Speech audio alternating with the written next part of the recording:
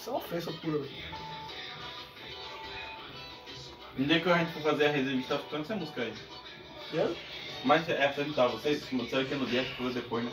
Como conversa. Ah, Era de tarde.